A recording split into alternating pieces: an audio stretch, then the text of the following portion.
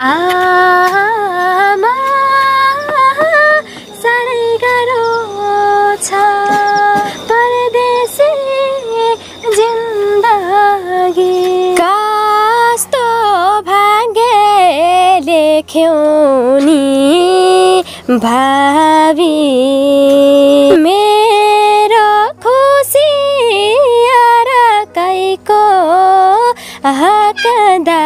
हक दाबी जिन्दगीलाई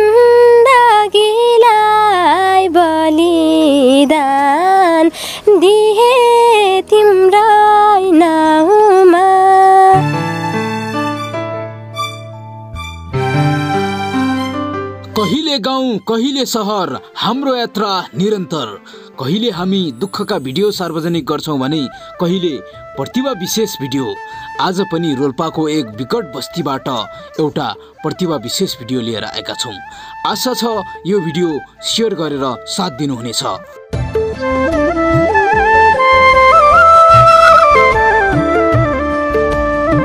हजुरको परिचय भन्नुहोस्। नमस्ते मेरो नाम निमकली रोकामगर हो मेरो ठेगाना लुङ्गी गाउँपालिका वडा नम्बर पाँच पिपलचौरमा पर्छ। तपाईँको घर परिवारमा कसैले गाउनुहुन्छ अथवा तपाईँले कसरी आयो गीत गाउने चाहना चाहिँ? पहिले पहिले दाईहरूले गाउनुहुन्थ्यो एउटा दाईले भन्ने सुनेको थिएँ बाबाहरूले भन्नुहुन्थ्यो। अनि त्यही हो अहिले अहिले चाहिँ मैले गाउँछु हल्का हल्का बहिनीले पनि सिकाउने कोसिस गर्छु। अब अहिले हामी सुरुवातमा चाहिँ गीत सुन्छौँ त्यसपछि कुराकानी गरौँला है। एक दिन त जानेछ संसार छोदे बाचुन्जेल तिम्रै मन मुटुमा रहे। रहर मेटाउन देहो मलाई जीवन कताउन देहो मलाई तिम्रो मायाले बाधन मुटुभित्रै राखन। अङ्गालोमा बेरान बेरान मलाई। कहिलेकाहीँ अब यो रोल्पामा होइन अब गाउँपालिका अथवा स्कुलमा होइन कतै कार्यक्रम हुन्छ कि हुन्न त्यसमा भाग लिने अवसर पाउनु भएको छ? हजुर। लिएको छु? पहिले पहिले त खासै लिउन थिएँ डर लाग्थ्यो आफूलाई। अहिले अहिले चाहिँ अब कहाँबाट प्रेरणा नजाग्यो भनेपछि मलाई साथीहरूले नि भन्नुहुन्थ्यो स्कुलमा गाइन्थ्यो प्रोग्रामहरूमा अनि गाउनुपर्छ राम्रो छ तेरो भोइस एउटा गाउने अवसर पनि मिल्छ। गा राम्रो छ तेरो भोइस भनेर भन्नुहुन्थ्यो। साथीहरूले अनि मैले एकचोटि स्कुलमा प्रोग्राम हुँदाखेरि एकैचोटि गाउन कोसिस गरेँ अनि त्यहाँदेखि मलाई झन् हौसला लाग्यो कि। म गाउँछु भन्ने लाग्यो। अनि प्रोग्रामहरूमा नि लिइन्छ सहभागिता जनाइन्छ भागहरू लिइन्छ गाइन्छ मजाले भनिन्छ है। एक्लो जीवन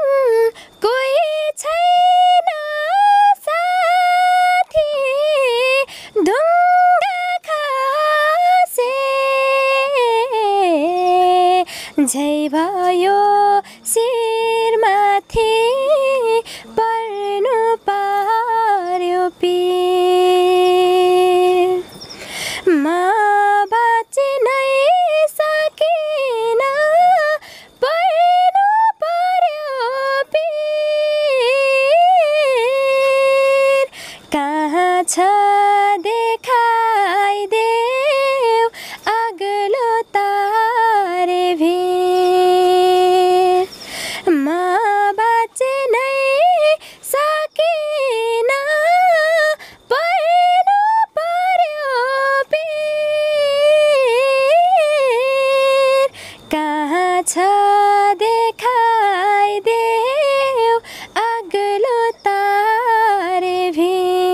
भिर यति बेला यो रोल्पातिर तपाईँको भेगतिर कस्तो खालको गीत चल्छ? त्यो सुन्छौँ हामी है। कस्तो भाग्य लेख्यौ नि भावी।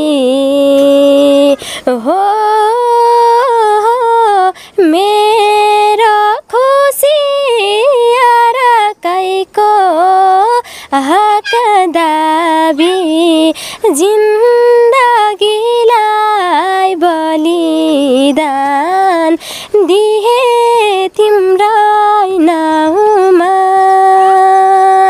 सानो तिमलाई गुमाएर कसको लागि बाँचुमा। कति खुसी साँचेको थिए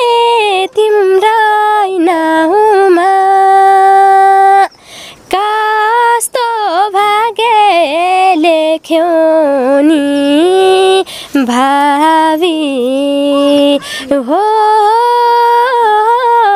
मेरो खुसी अर्कैको हक दाबी जिन्दगीलाई बलिदान दिए तिम्रै सानो तिमलाई गुमाएर कसको लागि बाँचुमा कति खुसी साँचेको थिए नाउँमा यति नै यो आदरणीय दिदी विष्णु माझीले गाएको गीत होला सायद एकदम मिठो गाउनुभयो। यहाँनिर चाहिँ धेरै कुराहरूको अभाव छ होइन? अब भनौँ न एउटा सुविधाको हिसाबले पनि अलिकति गाह्रो छ होइन? घर परिवारबाट के भन्नुहुन्छ? आमा बुवा दाई दिदीहरू दिदीहरू हुनुहुन्छ या तपाईँ? हुनुहुन्छ दिदीहरू हुनुहुन्छ दाईहरू हुनुहुन्छ। के भन्नुहुन्छ उहाँले? घर परिवारबाट साथ सपोर्ट त दिनुहुन्छ नराम्रो काममा नलाग्नु राम्रो बाटोमा हिँड्नु सधैँ हामी संसारमा भन्नुहुन्छ। हजुर। अब यो गीत सङ्गीत अथवा कलाकारिता क्षेत्रमा लागेको व्यक्तिले चाहिँ नराम्रो गर्छ भन्ने पनि गाउँघरमा त प्रवृत्ति छ नि होइन? त्यसलाई चाहिँ कसरी लिनुहुन्छ हजुरले? भन्छन् भन्नेले तर उनीहरूको कुरा सुन्दैन म। भन्नेले भन्छन् मान्छेले भन्छन् नि अब राम्रो फलमा झतारो फाल्छन्। तर फाल्नेले फाल्न दिनुपर्छ कुरा काट्नेले कुरा काट्न दिनुपर्छ खुट्टा तान्नेले खुट्टा तान्न दिनुपर्छ। म चाहिँ मेरो बाटो हिँड्छु भन्ने लाग्छ कि होइन?